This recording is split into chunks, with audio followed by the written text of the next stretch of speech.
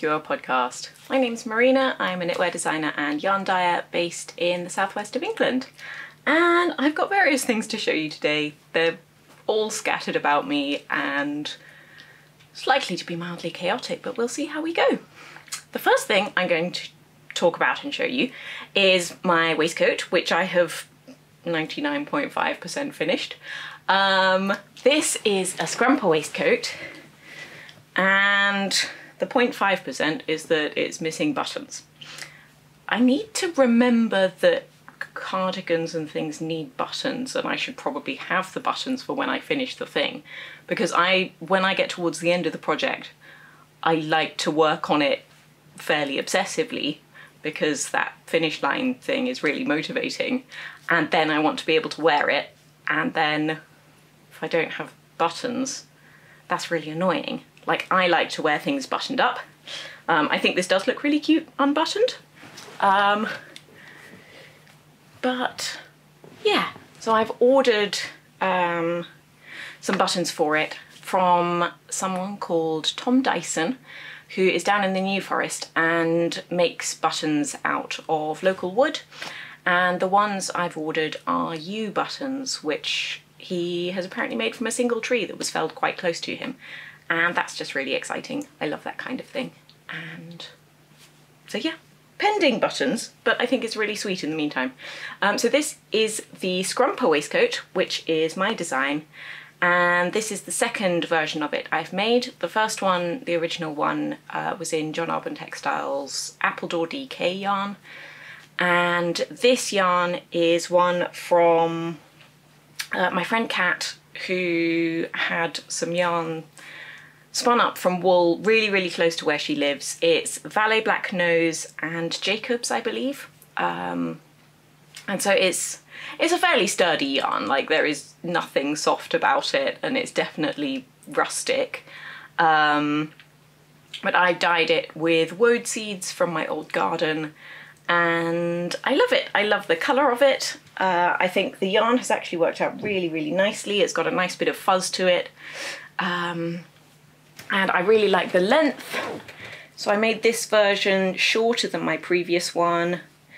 And so it just kind of sits at the high hip there. So my original sample I did with six buttonholes and with this one I just omitted two of them so it's two buttonholes shorter. Um, and at least one of my test knitters did a really nice uh, cropped version like one of them did even more crop than this and it's just so cute. It sits right on like natural waist. Um, and it's really sweet. So yes, the pattern is Scrumper Waistcoat.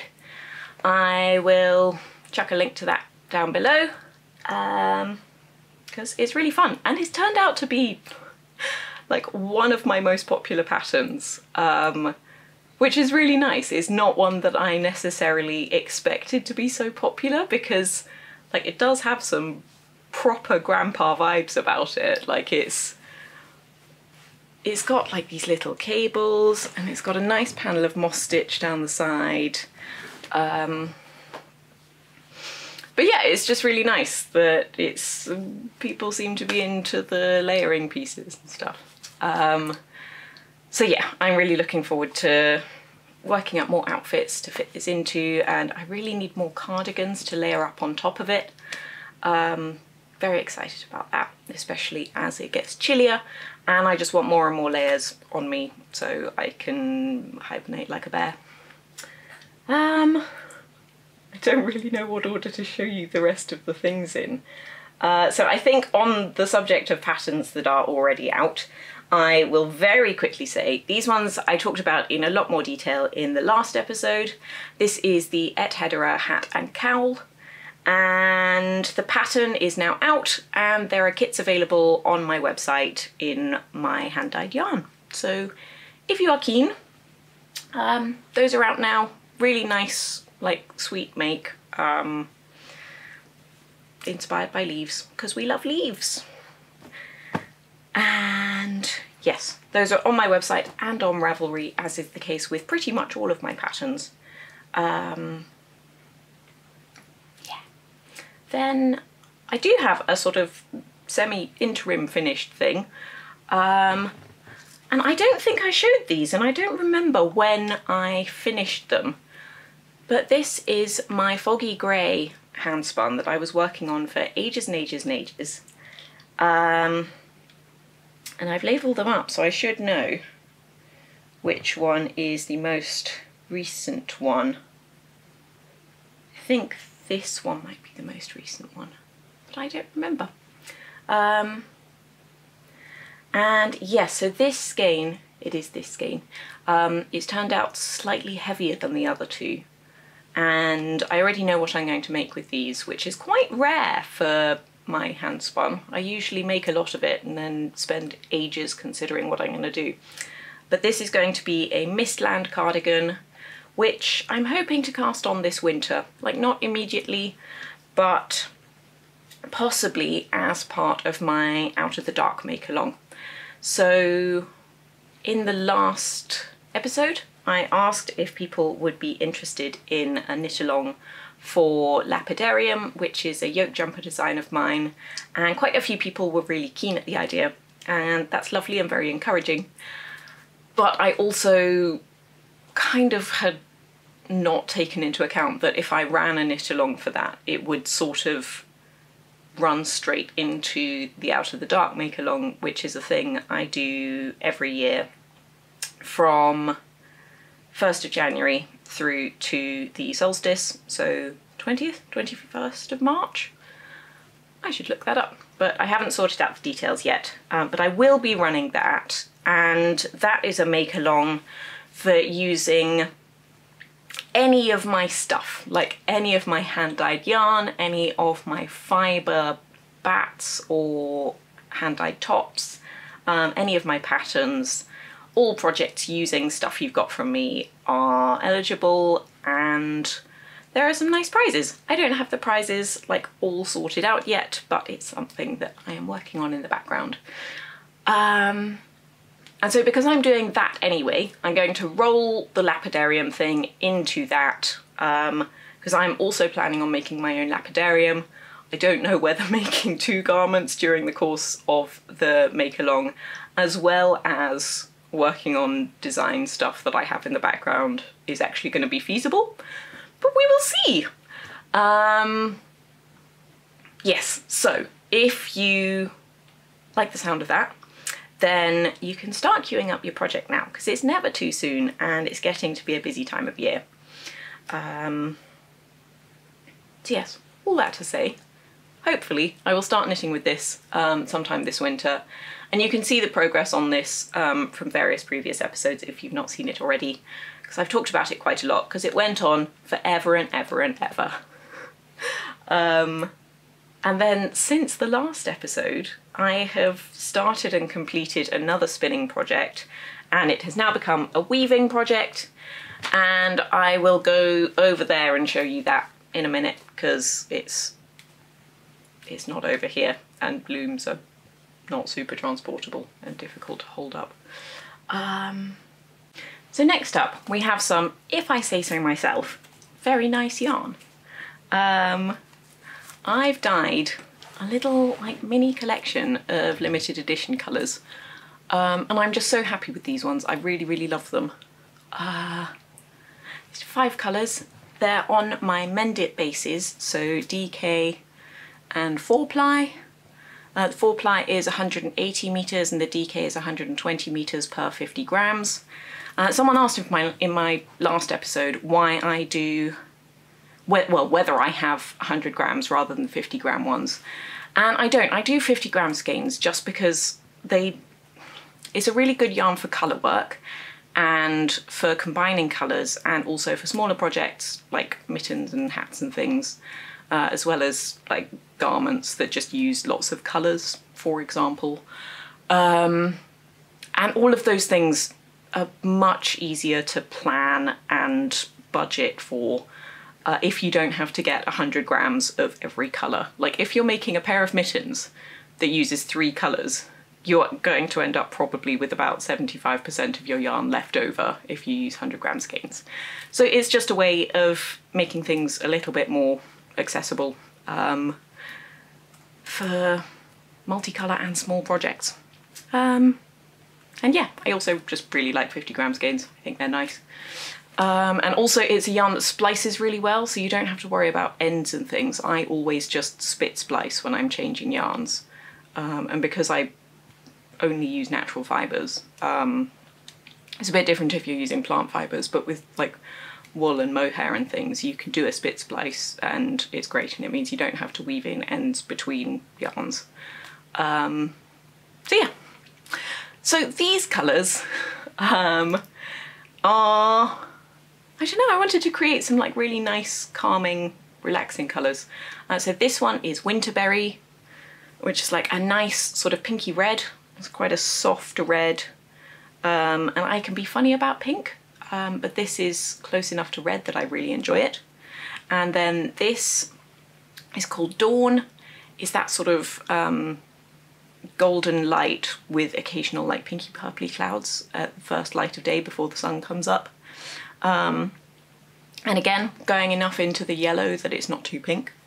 Um, this one, let's take these out so you can see a bit better. Uh, this one is called Frostfall and it's just this really nice like icy glacier blue um, sort of sea foamy duck egg thing. Um, and there are occasional bits of like almost lavendery colours in it. But I wanted to go like as pale as I could with a greeny blue. Um, because I tend to really like dark saturated colours, but I also like combining them with really pale delicate colours. Um, and then this one is kind of, it's got a lot of the same uh, sort of hues going on uh, as this one, but is much more saturated. This is Aurora.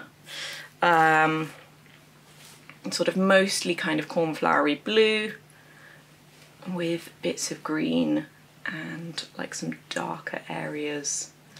Um, and the green is fairly sort of muted and gentle. Um, and yeah, these, so the batches on the DK and the 4 ply are slightly different because they're separate batches. Um, and they're also limited editions. I don't have recipes for these or anything, uh, which is exactly the kind of dyeing I find really fun. Um, just not having to worry about writing anything down and just putting the colours in the pots in a way that seems nice to me. Really enjoy that. And then this last colour is called Swamp. Um, sort of as a, not quite a dare from my patrons, but they definitely encouraged me was like, can I get away with calling it just something really unappealing? And it's been the most popular colour so far, so apparently yes. Um, it's just this really nice sort of olivey kind of army green, um, but with areas of more yellow and then these kind of burgundy patches. Um, it's just very muted and I really, really enjoy it. And my favourite combination by far is these three. I think they're glorious together. I think they're so nice. Um, I, I think these two work really nicely. Like you could do a colour work yoke with those or any colour work project, they would be really nice. Um, but I'm particularly keen on yokes. And then that I just think is so sweet. Those ones for like really nice, warm, comforting vibes. Um, you can put the blues together. And that one, because the, this one is so much more saturated, this one would come up almost looking like a neutral, but with still like a slightly chilly, frosty vibe. I think that would be very sweet. Um, and then this one, you can put with this one. And then that makes this, the sort of icier blue of this one pop quite a lot more. Um, the red in there kind of picks up these burgundy-ish tones. And then you can go, if you want pure pastel vibes, that's so pretty. I really like that. Um, so yeah, those colours uh, are limited editions. They also sit really nicely along with a lot of my regular colours. Um, if you would like if you're having a look at them and maybe wanted to consider getting some colours, um, I'm always well up for showing colour combinations. Like if you're thinking about a colour combination, aren't sure if it's going to work together, or if you like a colour and want another colour to go with it, or want help with putting together a palette, I'm always happy to offer like email support or messages on Instagram or whatever. Um, if you don't get a reply on Instagram, just chase me because messages sometimes get lost, but it is easier to send photos back and forth and I can take photos of skeins of yarn and we can pretend we're actually in a yarn shop or something and you can see what the skeins look like next to each other because I realise on a website it can be super difficult and I want to make it as easy as possible and I love combining colours and I love helping other people to do so. So yay! Um, those are my new yarn colours and yeah, some colours are running a little bit low. Swamp has been popular, um, but at the moment there's there are skeins available of all of those. Um, now, okay, I'm going to show you this one quickly because if you've watched previously, you've seen it a few times before, but because it's a bit of a beast of a project, it changes in between episodes and I'm very almost finished with the body on this. Um, oh, are we going to fit it in? Here we go. Um, it's difficult to see the whole thing, A, because, you know, it's quite big now, um, and B, because we've got a neck steek set up, which means that it's slightly difficult to show you the top of the front motif. Um, this is a design for Making Stories issue 12, which will be coming out autumn next year, so 2024. And on the back, we've just got the same repeating pattern. Got our armhole steeks here. Um, and I'm expecting to finish the body for this in the next couple of days because it's very almost there. Uh, the yarn is from Telling Yarns. Uh, the colours are Mrs. Coulter and Meg. Um, very nice greeny blue hues, which I just love. And I'm really, really enjoying working with the yarn and I hope I will get the opportunity to work with it again in the future because it's just delightful.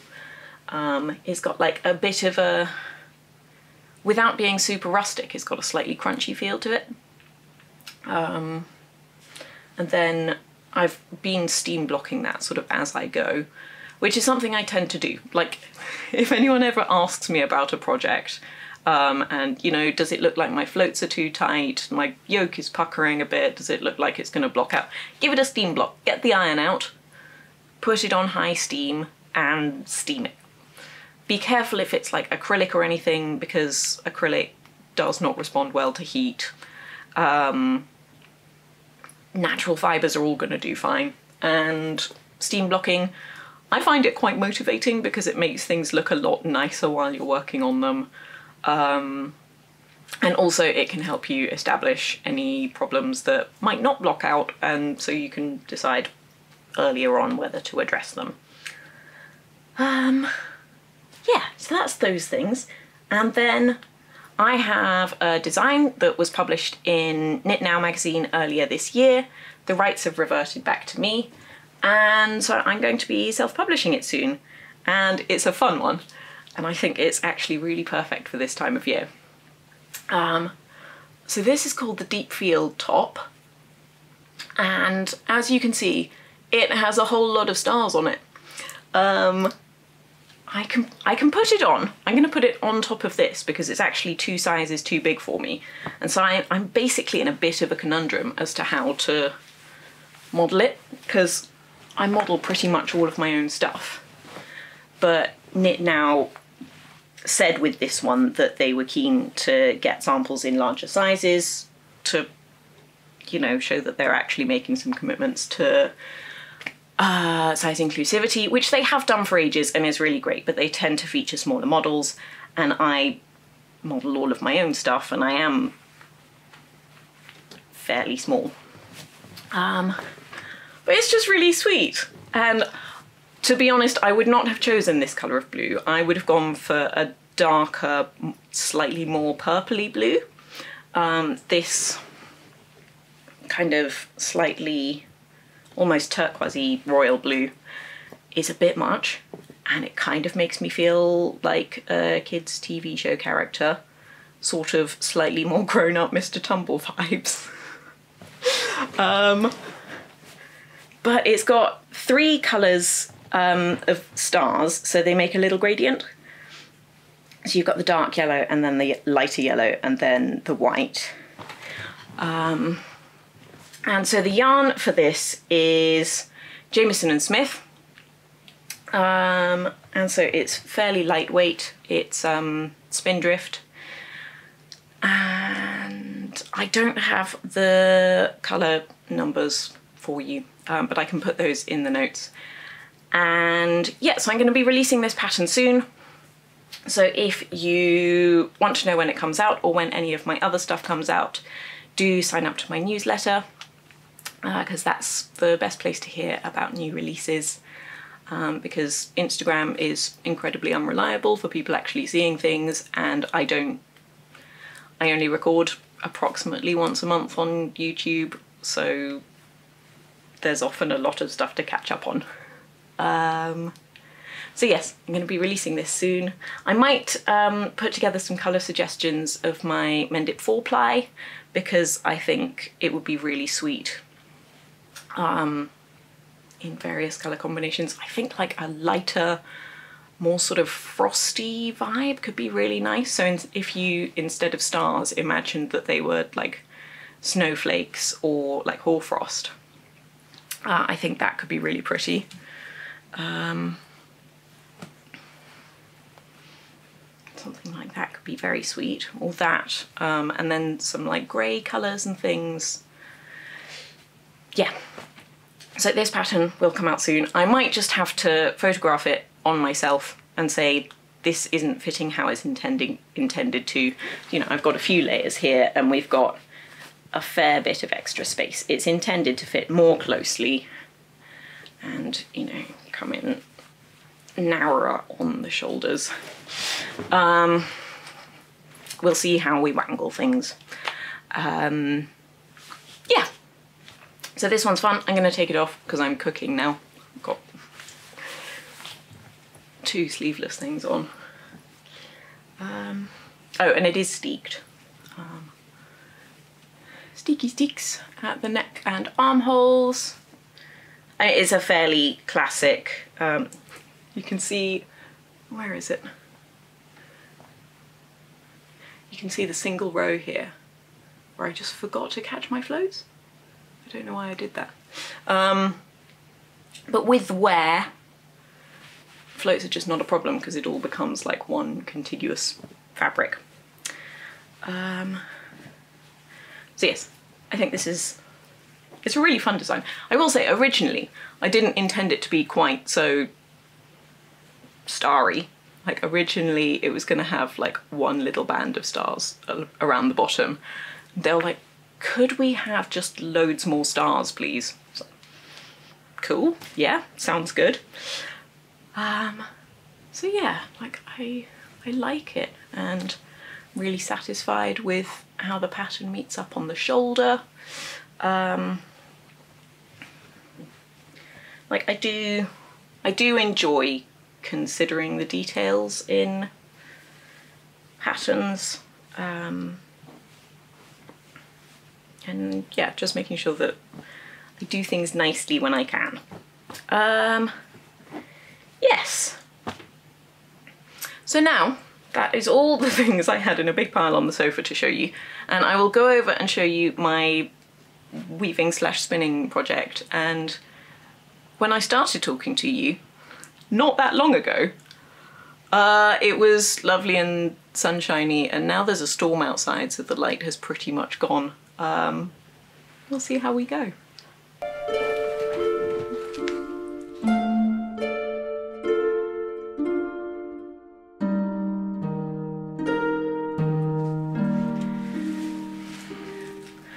So this project is one I've started fairly recently. Uh, this is my first time weaving in over a year and a half, um, which is really exciting because I've missed weaving and I've been wanting to get the loom out for ages, um, but it just hasn't really been the time. And so this is hand spun yarn. I spun the warp first, um, and I did show off the fibre that became this yarn in the previous episode. Um, and if you want to look at the yarn um, before it was all put on the loom, uh, there's a look on my Instagram fairly recently. Um, and the fibre is one I dyed up for the warp, and then the weft is the same fibre but naturally coloured. So it's uh, the Skua blend from Wing and Wool Work. And exciting side note, I've just found out that Wing and Woolwork are going to be relocating to Gloucester, which is much, much closer to me because they are currently in Yorkshire and it's a bit far away. And I do like to do things as locally as possible. And so it's just really exciting that they're going to be nearby um, because I've loved working with them on this project. Um, they've just been delightful and I really like what they're doing with British wool. Um, yeah. And so this is a blend of fibre that I designed and they processed. Um, it's five different British breeds, uh, British sheep breeds. Uh, there's Teeswater and Cheviot and Dorset Horn and Manx Loaghtan and Jacobs. Are we going up or down? I'm very out of practice with the weaving, you will have to forgive me. Um, and I did record the process of warping up the loom, um, which will be going out for my patrons. The video isn't ready yet because things are mildly chaotic and it's going to be a bit of work to edit. Um, and I'm alternating two separate shuttles even though they're the same yarn um, just because my spinning changes slightly because I'm technically not actually that good a spinner. Um, and so I spun one skein and then the other and they're just slightly different. They have slightly different amounts of twist and slightly different weights. Um, this one I think has the less twist and is a bit heavier. Uh, and so I'm alternating. So instead of using one and then the other, where you would get a noticeable change in the fabric, where you know, after this point, um, it just looks a bit different because the yarn's different. I'm just alternating so it'll be fairly consistent throughout the fabric and you're much less likely to notice um, you know, the changes between picks here. And I did the same with the warp, where one of the skeins of warp was much heavier than the other. And so I just kind of alternated as I was putting it on the loom.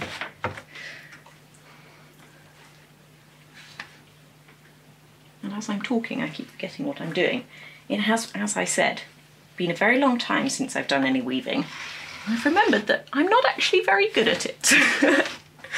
I've done, you know, so I haven't mentioned this is going to be a skirt, um, which is something I decided sort of as I was spinning up the russety red yarn. Um, I decided it would be lovely to weave some fairly thick, warm fabric um, for a thick, warm skirt that's basically going to be like wearing a blanket. Um, and I have woven fabric for three different garments now. And I think my improvement as a weaver in each of them is noticeable. Um, but also, you know, I, I still consider myself just beyond a beginner weaver in that I have done a few things now, but I'm still not well practiced. Um, and a rigid heddle loom unless you want to get very finicky about it, is slightly limiting because um, more complex sort of table and floor looms it's not necessarily that you can do much more interesting, complicated things, but they just make it so much more easy and quick to do those things. Um, so you can do really complex, lovely things on a rigid heddle loom, but a lot of them will take you ages. And I have limited patience for that. So I tend to enjoy plain weave and just having fun with my yarns. Um, so yeah, you can see I've just woven this much so far, um, and that's been um, a very short bit of weaving a couple of evenings ago, and then what I'm doing just now. And so I'm very excited about this. Um, it'll probably be going for a while. I can just kind of keep it set up here and do bits and pieces of it. I'm not going to put any sort of pressure on myself to finish. Well, the second I say that, I immediately want to contradict myself. Um, I say I'm not going to put any pressure on myself, but in a few weeks, I am going to be attending, not just attending, but exhibiting at Stollen and Wolle, which is a German Christmas market, but kind of craft and yarn themed, that Becky and Marcus of Riverknits are putting on at their studio. And I'm very excited about it. It's a one day show on the 26th of November, which is a Sunday. Um, and I'm really, really looking forward to going up and it's it's the furthest I will have taken my yarn north in a very long time. Um, and I think it's going to be really enjoyable. Um, and so the temptation is, because I can see this being part of a really nice kind of festive outfit, it's vaguely tempting to say I'd like to have the fabric woven and the skirt made for that, but that would probably be putting a lot of unnecessary pressure on myself given that I have various other deadlines going on. And we are also in the season of child bringing home illnesses from nursery. And I do have to keep in mind that I might end up with less work time than I ought to have. Which means lots of catching up in evenings and on weekends and things, which is always a bit grim.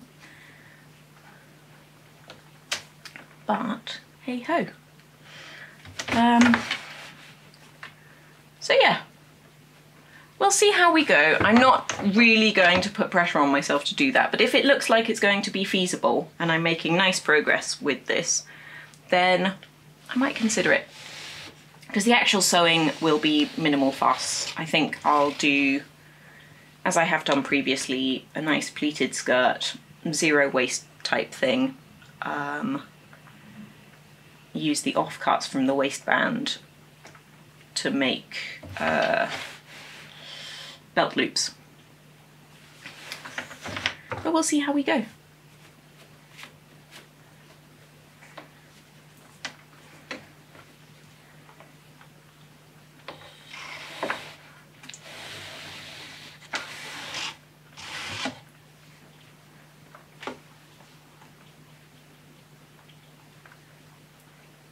Oops, see I shouldn't have done that. Right, that is a sign that I should stop for now and stop wittering because even small amount of concentration whilst talking is apparently incredibly difficult for me these days. so I'll leave it there um, and I shall show you how this progresses and whatever state it's in next time I come round to chat with you. So thank you very much for joining me for this episode today. It's been lovely having a chat and catching you up with what I've been working on. And if you want to catch up with what I'm doing in between podcast episodes, you can find me on Instagram and you can sign up to my newsletter. and I've also got a fairly active uh, Discord server for my patrons and patrons also get like early access to uh, like new products and they also get an exclusive video a month. So if those sound like things that you are interested in do go and check that out over there. And so I will catch you next time and it's been lovely chatting. Bye bye